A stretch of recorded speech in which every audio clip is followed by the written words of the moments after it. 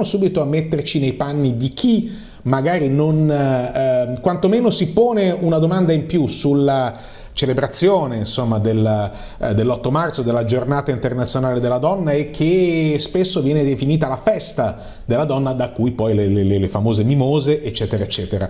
È interessante sentire anche qualcuno che magari, non, dico, non lo voglio chiamare bastian contrario, ma come detto si pone qualche domanda in più sul perché e sul per come. Io allora do il benvenuto ed è un piacere averla qui. Adella Marcello, direttrice creativa che è in collegamento con noi. Ella Buongiorno a te, grazie per la disponibilità e vediamo se ti vedo. Ella, eccoti. Eccoci. Ciao Giacomo, come stai?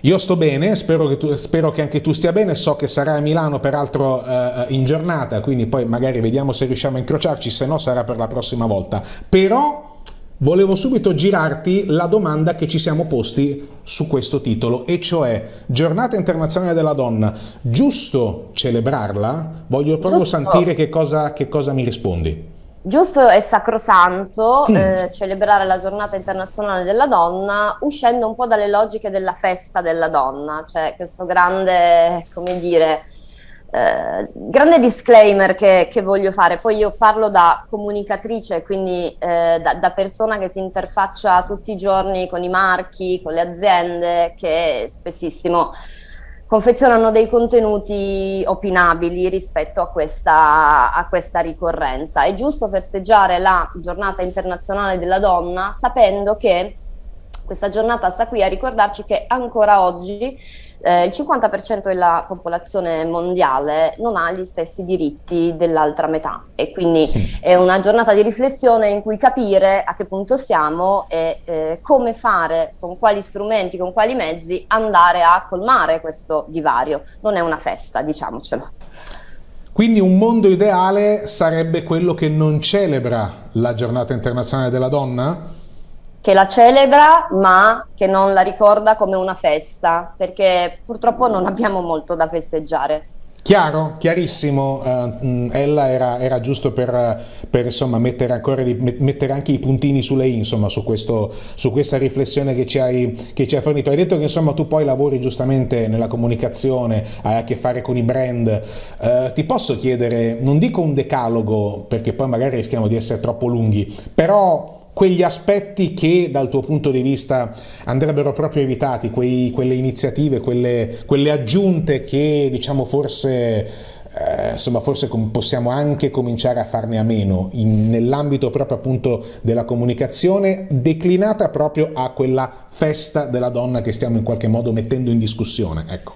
Dunque c'è un punto secondo me eh, importantissimo e fondamentale da cui partire se la mia azienda, se il mio marchio non sta lavorando con delle politiche attive in favore della parità di genere, ecco, mh, non facciamo uscire alcun contenuto perché è chiaramente un cavalcare un'onda eh, mediatica che però non ci, non ci appartiene. Se nella nostra azienda tutte le prime linee sono ancora composte per lo più da uomini, ecco, magari evitiamo. Se eh, sappiamo perfettamente che stiamo strumentalizzando una ricorrenza importante che parla di diritti per veicolare mh, offerte commerciali più o meno opinabili di nuovo, ecco no.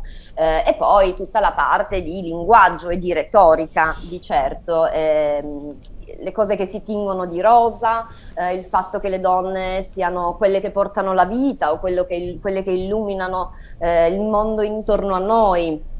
Uh, i prodotti di bellezza, i prodotti di bellezza, i marchi che fanno prodotti di bellezza non sono da demonizzare, però ecco, se proprio durante la giornata internazionale della donna ci viene detto che dobbiamo essere più belle, eh, c'è qualcosa che stride, no? Eh, non portiamo poesia nel mondo, che mondo sarebbe senza le donne? Ecco, tutte queste eh, metafore, queste espressioni molto abusate eh, non aiutano la causa, anzi eh, la strumentalizzano e la relegano ancora di più ai margini se possibile, consolidano un immaginario per cui siamo delle, ehm, degli individui delicati, degli individui angelicati, ecco no, c'è bisogno di empowerment per le donne, non c'è bisogno delle mimose o delle offerte commerciali. Forse l'hai in qualche modo accarezzato anche come, come tema però eh, spesso si tende, correggimi se sbaglio ovviamente, ma si tende anche a considerare le donne, no? soprattutto l'8 marzo, eh? come delle supereroi, come delle eroine che riescono a, eh, poi probabilmente lo sono anche, ripeto, eh, correggimi o diciamo eh, raddrizza l'argomentazione come, come, preferisci, però insomma ogni volta che viene detto, beh insomma eh, mamme, lavoro, eh, riusciamo, ri, ri, le donne riescono a fare, a, a, a fare, più cose contemporaneamente rispetto a magari l'impossibilità ehm, del maschio, eh, spesso emerge questo aspetto, no? Donna uguale supereroe l'8 marzo.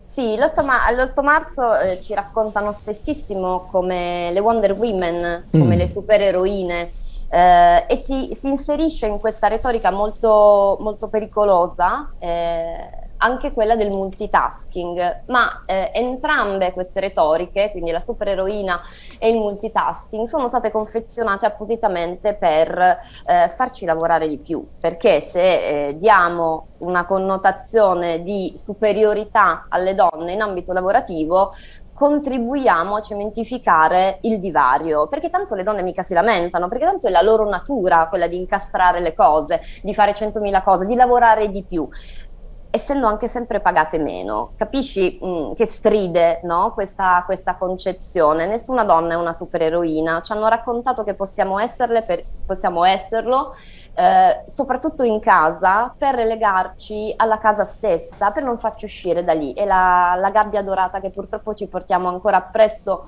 metaforicamente oppure eh, fisicamente in tanti, tantissimi casi. Uh, noi nel corso della nostra iniziativa, insomma, della nostra maratona, ovviamente parleremo anche del tema della, della violenza, insomma, sulle, uh, sulle, donne. E so che in questi, in questi, giorni, insomma, hai avuto modo di parlare con una collega, insomma, una giornalista del quotidiano Domani, uh, proprio su questo tema e, diciamo, sull'approccio di come a volte la violenza sulle donne ehm, rischia di avere, parlare di questo, di questo, argomento rischia di avere, diciamo così, eh, l'effetto contrario e addirittura di, scatera, di scatenarne dell'altra, dell'ulteriore violenza su questo, su questo aspetto. Ci puoi spiegare bene, insomma, di che cosa si tratta e che, quali sono, insomma, i, i contenuti, i, i concetti più importanti che sono emersi, insomma, in questa tua, posso chiamarla intervista?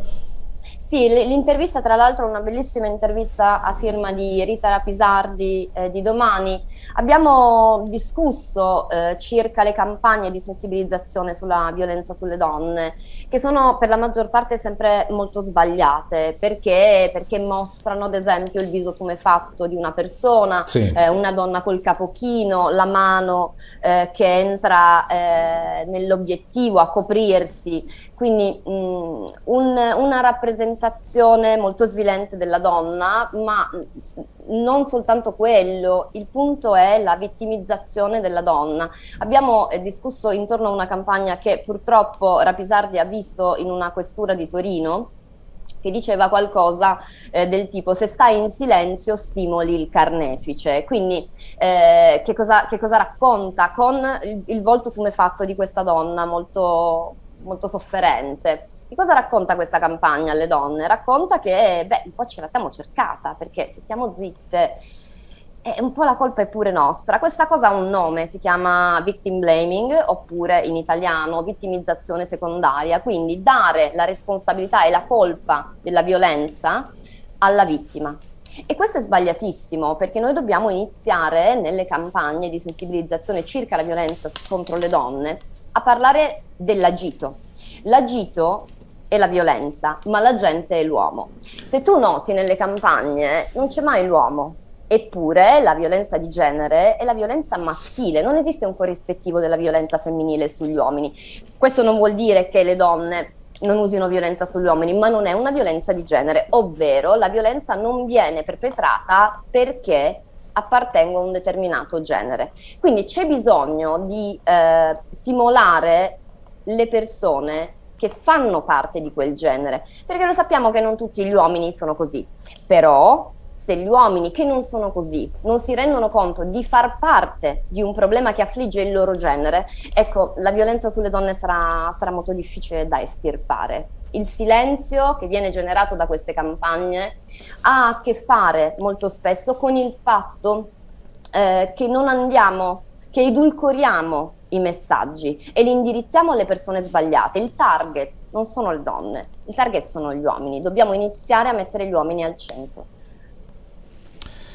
Ed eccolo, il, lo mostriamo anche, diciamo, il titolo del, dell'intervista insomma, di cui abbiamo parlato con, con Ella Marcello, i, i, messaggi sbagliati che trasformano le donne in complici dei loro carnefici, appunto a, a firma Rita eh, Rapisardi, salut, eh, collega insomma, che, eh, che, salutiamo. E eh, Ella direi che nel chiederti anche prima di salutarci, mh, mm, se, perché tu comunque recentemente hai anche pubblicato, pubblicato un libro, ti chiedo eh, diciamo in che modo sviluppi questa narrativa, insomma se è presente questa, questa narrativa. E poi vorrei anche mostrare, mm, insomma de, de prima di salutarci appunto del, del, del, diciamo del messaggio che hai voluto lanciare qualche giorno fa. In realtà, ma ovviamente la direzione era, era l'8 marzo, cioè del perché il tuo brand, eccolo qua, non dovrebbe fare un post sul giorna, sulla giornata internazionale della donna. Quindi insomma ci ricolleghiamo da questo punto di vista al primo, al primo, alla prima riflessione che abbiamo fatto insieme, insomma occhio a che cosa si dice e a come